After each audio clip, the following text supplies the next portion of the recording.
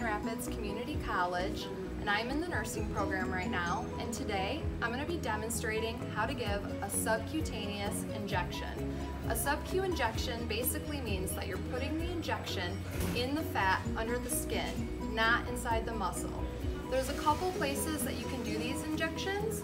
Um, the preferred method is usually in the abdomen, at least one to two inches away from your belly button, this area in the arm or your thighs.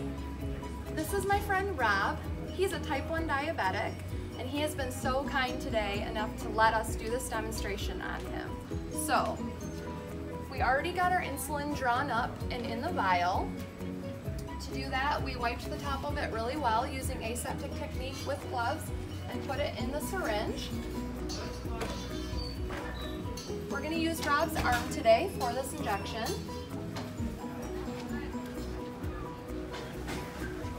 A good trick is to pinch an inch.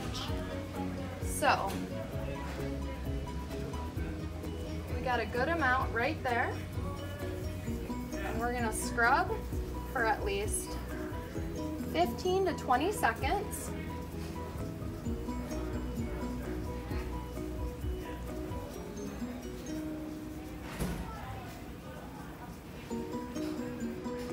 And then we're gonna let that dry.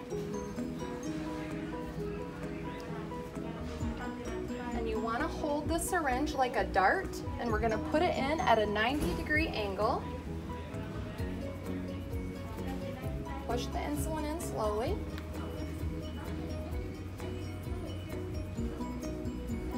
We're gonna hold there for 10 seconds.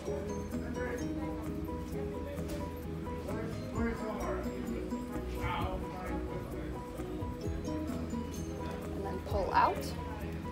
Cap the needle. And Rob did have a little bit of blood come out there.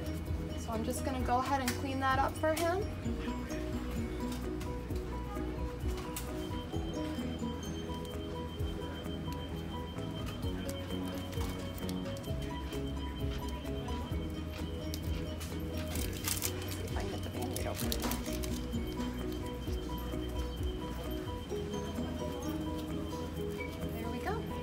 And that is how you do a subcutaneous injection. I'm gonna go ahead and clean all this up and one last tip is to remember to dispose of this in a proper sharps container. Thank you again for watching and have a great day.